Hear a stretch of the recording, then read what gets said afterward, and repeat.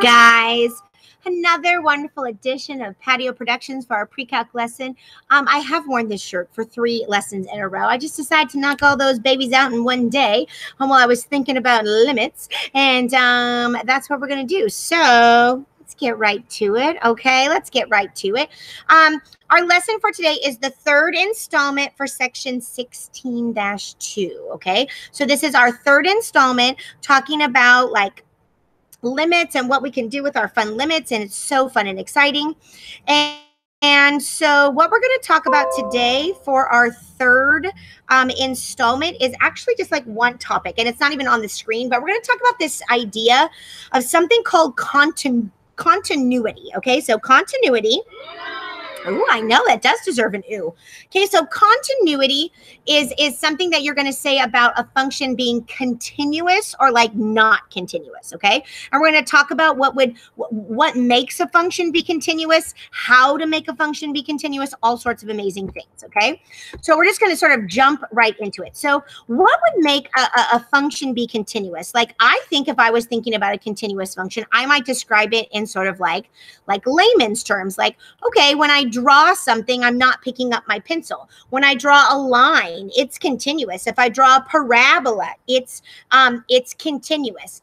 But if I draw oh, a sine wave or a cosine, totally continuous. Okay, but you know what's not continuous? Like a tangent graph. You know it's not continuous? Like a function like a 1 over x where it like swoops and then it comes down and goes like this. Those are not continuous. So if the thinking definition is you don't pick up your pencil, there's no holes in the graph, what's like the mathematical definition of a continuous function? Okay. So here's going to be a more formal definition of what a continuous function is. Okay. And we're going to write down all the rules. There's sort of like three parts to something being continuous. And so we're really going to like focus on the three parts. Okay. So, yep, three parts. Super amazing, super fun, super great. Okay, so here's the formal definition. It says a function f of x is continuous at x equals c. A function f of x is continuous at x equals c if and only if, that's what IFF stands for, if and only if Okay. And then there are three things that happen. One thing that happened is that f of x is defined at x equals c. Okay. In other words, there is a coordinate. Okay. So at whatever the x value is, there is a y dot that matches with it. Okay. So for your own self, you're going to think to yourself, okay, check it out. This means that there is a point. Okay, so this means that there is a point. So you're writing down that f of x is defined at x equals c, and you're writing a note to yourself that that means there is a coordinate at that x value.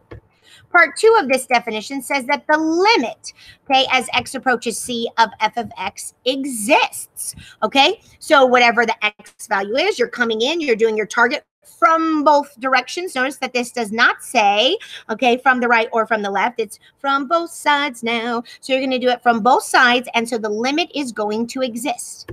What makes a function continuous is if your answer to part one and your answer to part two are the exact same numbers. Okay, part three says that they want these two things to be equal. They want the limit as x approaches c of f of x to equal f of c. Okay. So basically, when you do one of these limit questions, you're going to be doing three things. You're going to say to yourself, is it defined? Like, is there a dot? Does the limit exist as I'm coming in from the right and from the left? Am I going to the same spot? And is the answer to the first part the same as the answer to the second part? And if it is, dun dun dun dun dun, you get to say it is continuous at that coordinate. So fun, so fun. Okay. All three of those things must be met to be continuous. So, a couple of theorems before we get into a little fun example here. It says polynomial functions are continuous at every real number c. So some of those things that I was mentioning at the beginning, like a parabola or a line, those are polynomial functions. They are in fact continuous, okay? All right, now a very typical question for them to ask and oh, we are, this is probably example number one. Silly Mrs. Fox. She does weird editing sometimes. Okay. So this will be example number one. And so our, this is actually our only example for today. We want to determine if this guy is continuous.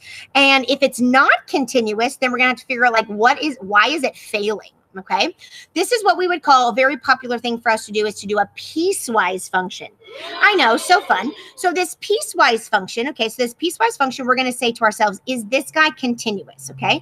So we're going to have to graph up this piecewise. This is going back to like way, way, way, way, way, way, way, way, way back two first semester where we remembered how to do our piecewise functions. Okay, so I'm going to get myself a graph pulled up for this. So here's my piece of graph paper, and we're just going to do little bits and pieces at a time. Okay, so for x squared plus two, this would be a parabola, just a regular old y equals x squared, but it's been moved up two.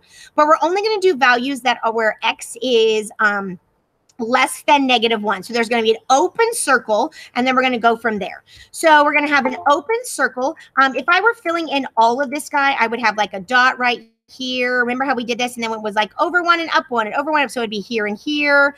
And then you went over two and up four and you would put a dot over two and up four. And we would draw the whole parabola. We'd be like, JK, I don't want to keep the whole parabola. I only keep one stuff that's less than negative one. And so then we would erase all of that nonsense. And this would just be the part of the graph that we get. So fun. Okay. Then it says at x equals negative one to go ahead and plot the number one. So this is basically saying, I know it looks funny, but at x equals one, we're going to have the coordinate negative one comma one. So we're going to put a dot right there. And then for the next guy, it says uh, it's 2x for x is less than negative 1, okay? So this means that we have a graph. Um, this is the, the function right here. This is the line, uh, just a slope of up 2 and over 1 goes through the origin. There's an open circle at the x value of negative 1, and then this is what this baby looks like. So here's what I'm thinking. You're thinking to yourself, uh, Mrs. Fox, this baby is super not continuous. Like, it's so not continuous. Look at it. Look at the picture. Okay. And I'd be like, you're right. It is. It's not continuous. But why does it fail? So here's the thing it's not enough to just say, oh, guess what? It's not continuous. Done. Have a nice day. Let me get out of here. Bye, guys. Oh, no, no, no. You have to do it formally. You have to tell me where it is failing. Okay. So remember, there are three conditions. Does the function exist? Is there a coordinate at negative one? Okay. Number two, does the limit exist at that spot? And then are those two values the same? So this particular picture, where is it failing? Okay, that's what we have to figure out. So condition number one, is f of x defined at negative one? And the answer is 100% yes. Okay, we saw right here that at negative one, this guy has a coordinate at one. Okay, so this is check, done, it's lovely. Okay, it passes the first test. Step number two, the limit. Does the limit exist? Oh. Yep, the limit does not exist on this one. Okay, so again, why does the limit not exist? That is because as I'm coming into my target value of negative one right here, my target value, and I come in from the left and I come in from the right, are those two values the same? Absolutely not. Okay, so you would write down very formally why this is failing. The limit as x approaches negative one from the left, see how I put my little negative sign right here? Okay, from the left of f of x is positive three. And the limit as x approaches negative one from the right, see my plus sign right there, of f of x is negative two. That means that those two things are not the same. And that is where this guy fails. Okay, so yep, not continuous by the, the second part of its definition, it does not work. Okay. If it was continuous, like if it was continuous, then probably what would have happened is that this value right here would have been the same as this value right here. Everything would have been the same. Then you'd be like, yay, it's continuous. But again, you would have to write all of those pieces out. Okay. Beautiful. Okay, ladies and gents, that is it. That's how we do it. Okay, so you're going to practice some of these. Now, your homework today, okay, what I decided because we're concluding this section two, I decided to give us a couple of practice problems on what we just learned about doing piecewise graphs and, and the idea of continuity, being continuous or not continuous, and those three things that make something continuous. But then also, we should go back and practice the entire lovely section. So you're also going to do, um, starting on page 862, you're going to do the classroom exercises, numbers one 1 through 11. Okay, so this classroom exercises will review everything from section 2, and then this part right here will really um, focus in on the stuff that we just learned in today's lesson. Ladies and gents, that is it. Okay, this brings us to the conclusion of our beautiful um, section two. And so, yes, remember we're doing bite-sized chunks so that it's more handleable. I really don't think your homework's going to take forever, but you're if you're keeping on top of it, that's what I want you to do. I know APs start next week, and so you might be doing some AP work. So just doing manageable chunks is, I think, the best course of action for us. That's it, guys. I hope you have a wonderful day. Um, we'll have our fanfare music to get us out of here, and that's it. Okay, I'm going back inside, guys. It is warm out here. Sunglasses on. I'm about to close up shop.